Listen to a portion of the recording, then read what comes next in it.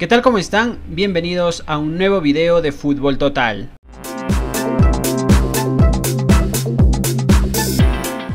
Arrancaremos con información internacional Bundesliga fecha número 7, algunos resultados, el Red Bull Leipzig como local goleó 3 a 0 al Friburgo, importante victoria. En otro enfrentamiento, en el clásico, el Borussia Dortmund cayó como local 3 a 2 ante el Bayern Múnich y en un verdadero partidazo el Bayern Leverkusen ganó 4 a 3 ante el Borussia Mönchengladbach. Vámonos a la tabla de posiciones donde el Bayern es líder con 18 puntos, segundo el Leipzig con 16, tercero el Dortmund con 15, mismo puntaje para el Leverkusen y el sorpresivo Unión Berlín aparece quinto con 12 puntos. Así avanza la Bundesliga.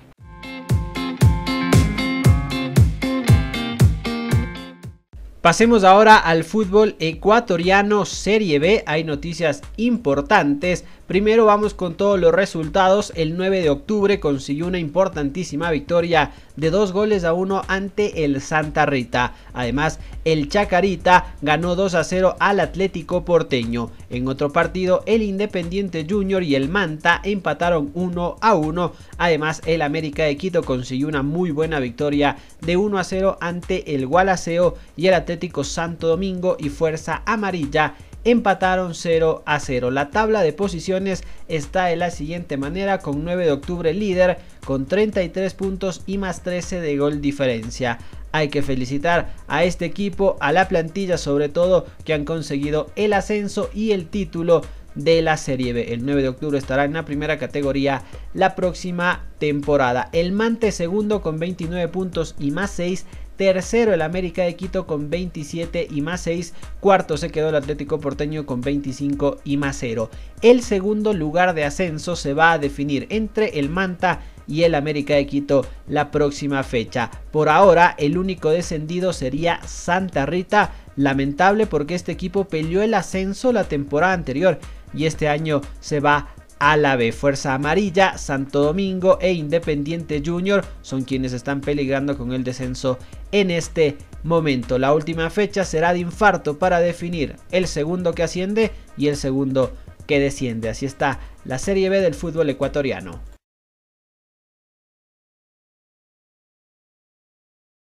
Vámonos ahora a la Liga de Francia, donde el Marsella se impuso 1 a 0 al Racing de Estrasburgo. Se empieza a recuperar el Marsella. En otro partido, el Paris Saint-Germain ganó 3 a 0 ante el Reims. No tuvo mayores dificultades el equipo de Neymar para superar al Reims, que en teoría es uno de los equipos más exigentes en la liga francesa. Por otro lado, el Lille cayó 3 a 2 ante el Stade Brestois, este Lille que venía de golear 3 a 0 al Milan en el marco de la UEFA Europa League. En otro partido, el Lyon se impuso 2 a 1 al Saint Etienne. Por ahora la tabla de posiciones es comandada por el Paris Saint Germain con 24 puntos y ya le ha sacado 5 al segundo que es el Lille que tiene 19 puntos.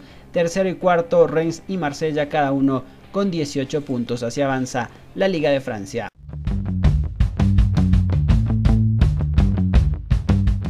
Vamos ahora con un poco de ecuatorianos en el exterior, territorio sudamericano. Empezaremos en la Liga de Perú, donde el Sporting Cristal se impuso 2 a 0 al San Martín. Washington Corozo volvió a ser titular y estuvo presente hasta el minuto 84. El Sporting Cristal se mantiene líder en el torneo clausura peruano.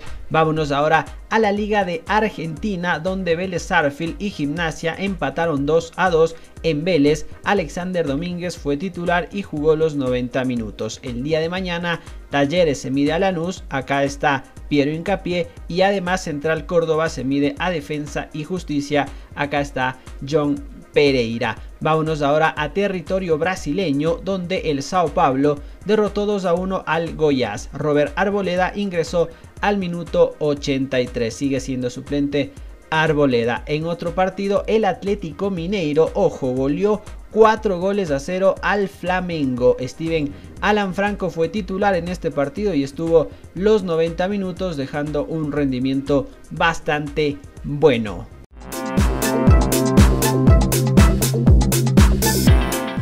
Vámonos ahora a la liga italiana, fecha número 7, repasamos los resultados más importantes Lazio y Juventus empataron 1 a 1. Anotó Cristiano Ronaldo al minuto 15 y lo empató Felipe Caicedo con gol al minuto 95. En otro partido, la Roma se impuso 3 goles a 1 al Genoa. Además, la Atalanta y el Inter empataron 1 a 1 Dos equipos que parece que despegan y de repente se frenan. No termina de levantar cabeza ni la Atalanta, tampoco el Inter. Además, el Napoli consiguió una buena victoria 1 a 0 ante el Bolonia y el Milan que parece que se empieza a frenar empató 2 a 2 con el Elas Verona. Sigue siendo líder el Milan con 17 puntos, seguido por el Sassuolo con 15 puntos, tercero el Napoli con 14, cuarto la Roma con 14 y 13 puntos tiene la Juventus.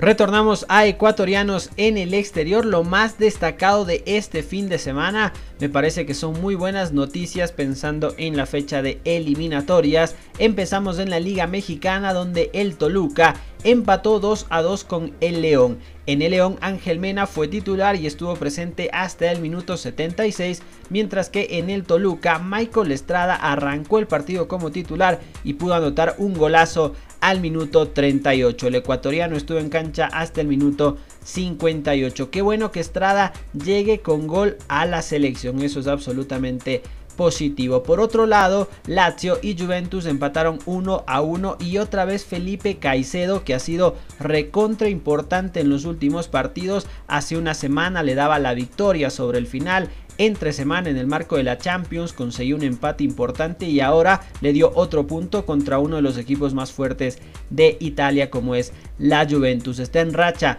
Felipe Caicedo, enhorabuena también por el delantero ecuatoriano. Y llegamos a la parte final de este video. El día de ayer se dio la nómina oficial para los partidos de eliminatorias la repasamos rápidamente. Alexander Domínguez, Hernán Galíndez, Pedro Ortiz, centrales o defensores, Arboleda, Arriaga, Beder Caicedo, Estupiñán, Eric Ferigra, Diego Palacios, Pedro Pablo Perlaza, Mario Pineida, Félix Torres, Moisés Corozo, Ángelo Preciado. En la zona de volantes, Moisés Caicedo, Alan Franco, Carlos Grueso, Adolfo Muñoz, José Cifuentes, Renato Ibarra, Sebastián Méndez, Junior Sornosa, Joao Rojas. En los delanteros, Ener Valencia, Ángel Mena, Leonardo Campana, Gonzalo Plata, Michael Estrada y Johan Julio. Esos son los 29 elegidos por Gustavo Alfaro. La selección juega el 12 de noviembre a las 3 de la tarde en el estadio Hernando Siles en La Paz contra Bolivia el 17 de noviembre a las 4 en el estadio Rodrigo Paz Delgado en Quito contra Colombia. Empezamos a palpitar las eliminatorias. Hasta aquí. Nada más este video. Si te gustó dale me gusta. Pueden comentar en la parte de abajo. Siempre gracias y nos vemos en un próximo video.